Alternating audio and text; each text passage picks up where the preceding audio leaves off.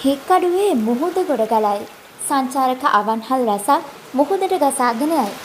හික්කඩුවේ නාරිගම වෙරළ තීරය පසුගිය දිනවල විශාල වශයෙන් මුහුදු ඛාදනයට ලක්වීම හේතුවෙන් හෝටල්වල අවන්හල් රැසක් මුහුදට ගසාගෙන ගොස් තිබේ. මීටර් සීයක පමණ වන පරිදි වෙරළ තීරය සම්පූර්ණයෙන් මුහුදු ඛාදනයට ලක්වීමෙන් මෙම ප්‍රදේශයේ තිබූ සංචාරක හෝටල්වල අවන්හල් සහ අවන්හල් පමණක් පවත්වාගෙන ගිය සංචාරක අවන්හල් විනාශ වී තිබේ.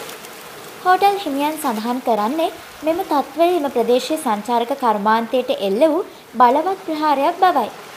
මීට තාවකාලික විසඳුමක් ලෙස ආරක්ෂක රෙදි ආවරණ යෙදවීමට වෙරළ සංරක්ෂණ නිලධාරීන් විසින් කටයුතු කර තිබේ.